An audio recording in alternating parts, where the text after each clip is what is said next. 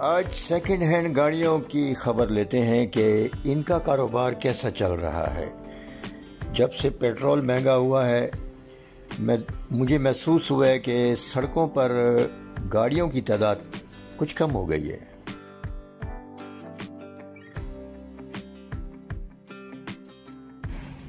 बेचण वाले कोनी ते घिनण वाले कोनी हाँ हाल खराब है। बुरा है हाल बुरा है। वजह बेचण वाले कोन सर जी? ते घिनण वाले कोन हाल बुरा है महँगाई दा हाल है। वजह क्या है? वजह महँगाई पेट्रोल। पेट्रोल। पुरजे महँगे। हर शय महँगी है अगला हर बंदा सोचेंदा वदा कणक दा कोई सिस्टम कोनी न कोई रोटी सही खा सकदा है वद गरियाँ की तो निज़ाम बहुत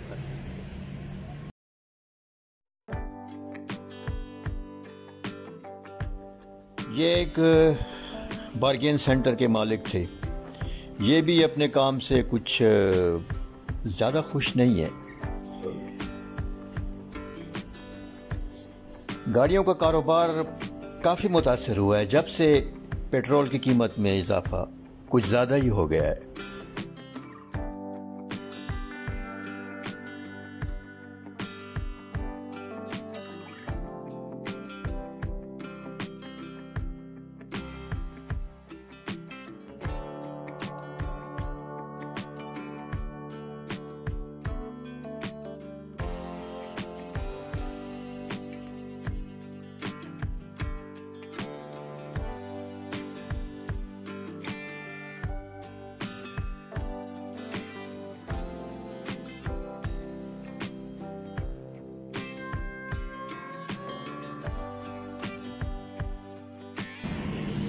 अस्सलाम वालेकुम खान आपके गाड़ियों की वीडियो बना लूँ? चैनल है उसके लिए।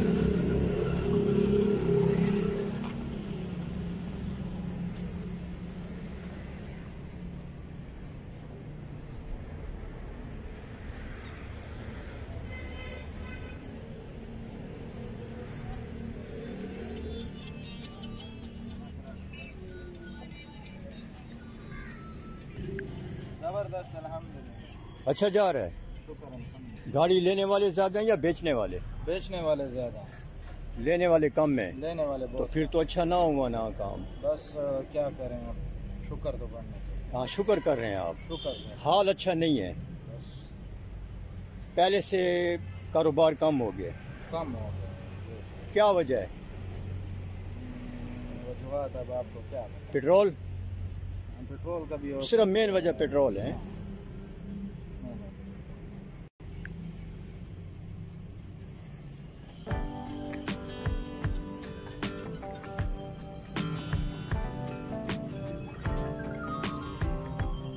अस्सलाम वालेकुम वालेकुम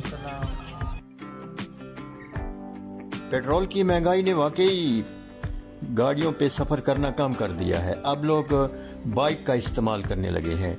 जो छोटी छोटी बातों पर छोटी छोटी शॉपिंग के लिए या करीबी जाने के लिए गाड़ी इस्तेमाल करते थे, अब उनकी गाड़ी गैराज में ही खड़ी रहती है।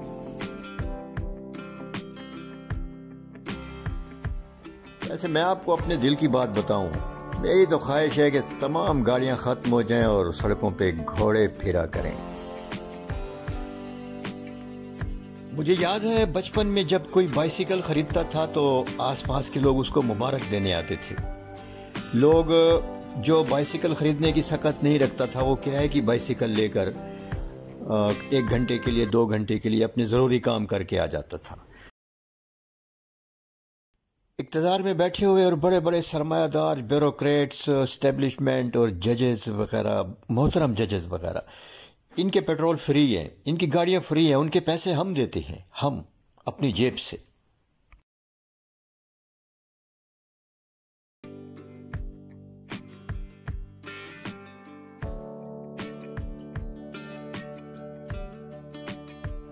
किसी बार्गेन सेंटर के मालिक ने मायूसी का इजहार किया।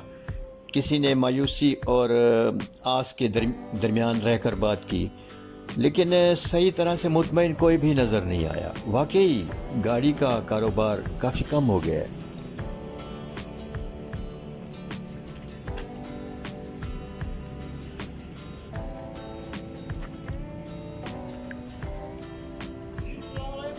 वालेकुम सलाम। क्या कारोबार कैसा जा रहा है गाड़ी कारोबार तो अल्हम्दुलिल्लाह भी अच्छा है पहले से। गाहक तो नज़र नहीं आ रहे कल भी मंडी- गर्मी ज़्यादा है। कल मंडे तो अल्हम्दुलिल्लाह दो तीन सौदा की है। दो तीन सौ देखिए। अच्छा पहले से भी साल अभी मुहर्रम से बाद काम सही है। अच्छा अच्छा। गाड़ी बहुत महँगी है रेट बहुत ऊपर है। बेचने वाले ज़्यादा हैं या खरीदने वाले? हाँ, बेचने वाले ज़्यादा हैं, खरीदने हाँ, वाले अब लोग गाड़ी नहीं रख सकते हाँ हैं। नहीं रख सकते पेट्रोल महँगा है। हर किसका काम है किसका कारोबार है वो चला सकते हैं, किसका कारोबार नहीं है रोज़गार नहीं वो नहीं चला सकते। क्योंकि पैसे बहुत ज़्यादा है, डिमांड लोग बहुत ज़्यादा करते बहुत ज़्यादा पैसे मांगते लोग। तो कौन ये किसी ने अपने लिए बनाई है हैं? बलोच ज़्यादा।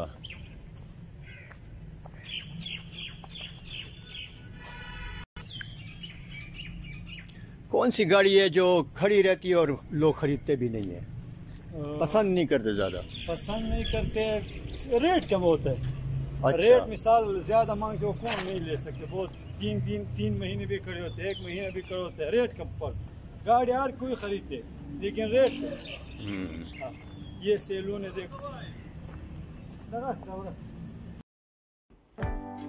जब तक ये इन गाड़ियों की सहूलत नहीं थी ज़िंदगी अगर थोड़ी बहुत मुश्किल भी थी तो लोगों की सेहत बहुत अच्छी होती थी पैदल चलते थे साइकिल चलाते थे और अपने बजट को अपने अपनी हद में रहकर वो इस्तेमाल कर सकते थे अब जूं जूं ख्वाहिशात बढ़ती जा रही हैं ज़रूरतें भी अपनी हदों को फलांग कर ख्वाहिशात में दाखिल हो गई हैं। और बजट तो तहस नहस होना ही है। मैं सोच रहा हूँ कि अगर यही हाल रहा तो एक दिन यहाँ सड़कों पर साइकिल होंगे या फिर टांगे। और सुकून भी आ जाएगा दुनिया में। क्या ख्याल है आपका?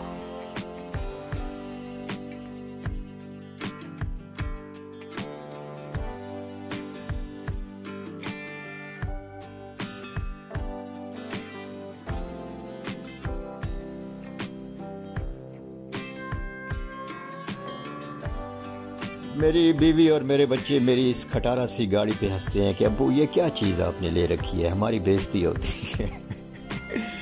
मैंने कहा, बेटा, यही है, बस बड़ी गाड़ी गरूर की अलामत है। बड़ी गाड़ी में आप बैठेंगे तो आपको चलने वाले लोग बहुत छोटे नज़र आएँगे। बस ज़रूरत पूरी करनी है और क्या है? क्या करना है इतनी महँगी गाड़ी को?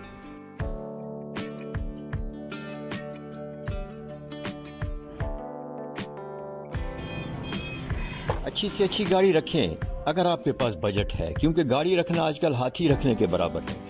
हाथी को खरीदना तो शायद आसान हो, लेकिन उसको रखना बहुत मुश्किल होता है। तो ज़रा सोचिए, अगर आप गाड़ी लेना चाहते हैं तो ज़रूर सोचिए।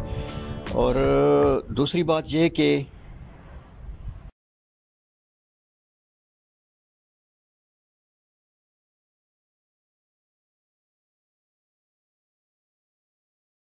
और दूसरी बात ये कि आपके मुल्क का जो ब्यूरोक्रेट है बाईसवें ग्रेड का अफसर चाहे वो इस्टेब्लिशमेंट से है चाहे वो अदलिया से है चाहे वो सेक्रेटरी वगैरह है वो आपके पैसे से अपनी गाड़ी चला रहा है। आपको पता होना चाहिए आप अपना पेट्रोल भी खरीदते हैं उसका भी खरीदते हैं।